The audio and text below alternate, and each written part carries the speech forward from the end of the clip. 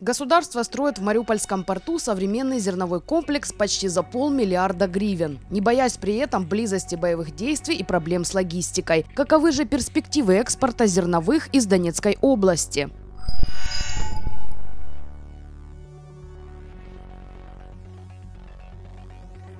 Николай Гусаков, фермер из Славянского района, в советское время был главным агрономом колхоза. С 92 года занимается зерновыми вместе со своей семьей. Бога за бороду не хватает.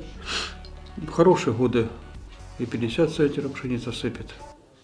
Нехорошие бывает и 15. Вот за прошлый год по парам было у нас зимы мы где-то 250 тонн сдали пшеницы третьего класса. Это та, что идет продовольственная на муку на муку, на хлеб. Часть урожая он продает на внутреннем рынке, часть сдает крупным зернотрейдерам. И уже эти компании отправляют его на экспорт.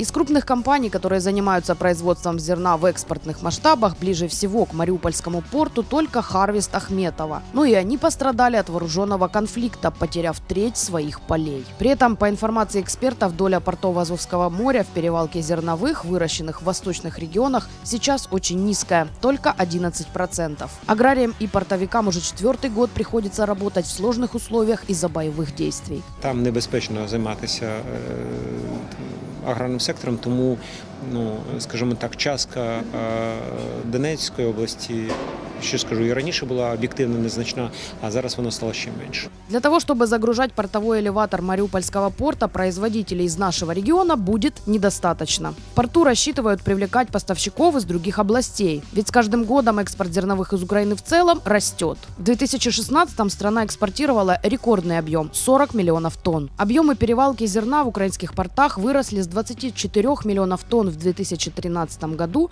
до почти 40 миллионов тонн в 2016 2016 несмотря на войну. И Мариупольский порт рассчитывает на свою часть экспортного пирога. Будем, э, естественно, э, ориентироваться и на ближайших э, производителей зерна, которые расположены в Днепропетровской, Запорожской, возможно, Луганской и, и, даже, и даже Харьковской областях. Развитие комплекса в Мариуполе предусматривает два этапа. На первом будут построены емкости хранения порядка 55 тысяч тонн. Этот объем будет заполняться грузами, поступающими преимущественно автотранспортом. 10 э, емкостей э, объемом единовременного хранения по 5,5 тысяч тонн будут расположены именно вот в этой зоне.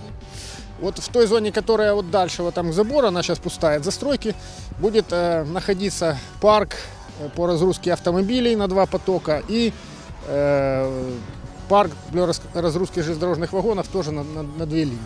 Но такое решение – это дополнительная нагрузка на без того проблемные автомобильные трассы, говорит експерт. Відстані, да, їм вигідніше, вони в зв'язку з цим розбивають цими своїми вантажівками, перевантажуючи їх доволі, доволі суттєво, розбивають потім шляхи. І це одна із великих проблем.